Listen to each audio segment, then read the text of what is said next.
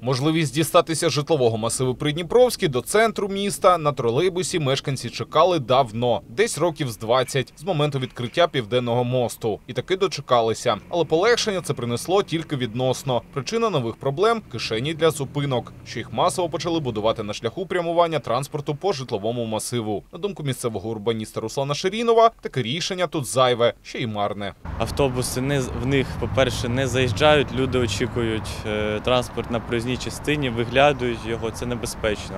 Е, Кишені не дозволяють маломобільним містянам на кріслі колісному заїхати е, в тролейбус, в новий низькопідлоговий, як- яких зараз багато. І коли автобус заїжджає в кишеню, водії не пропускають Транспортний засіб, тролейбус, автобус, і від цього громадський транспорт е, їздить довше. Графік руху не виконується. Тобто тут цілий комплекс проблем з кишенями. Комунальники не згодні. Заступник директора комунального підприємства Дніпровський електротранспорт наголошує, при Дніпровській кишені захід вимушений. До того ж, це вимога ДБН. Так как ширина проезжей части по улице Гаванская и по улице Энергетическая всего-навсего составляет 6 метров, то э, заездной карман для жилмассива Приднепровский – это есть вынужденная мера. Мы предприятие электротранспорта, и мы оперируем ДБНами строительства трамвайных и троллейбусных маршрутов. И в наших ДБНах жестко указывается, что остановочные карманы э, строятся.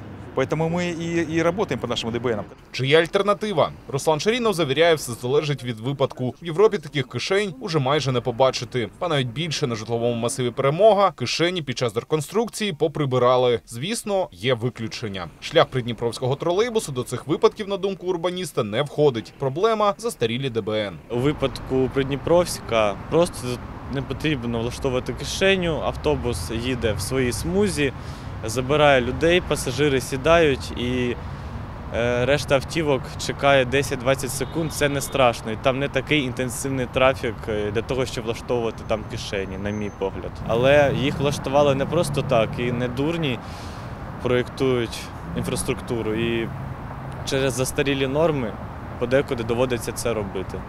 Кирило Бережний, Олександр Височин, Олександр Наумов, Тарас Іванов. Новини 9 каналу.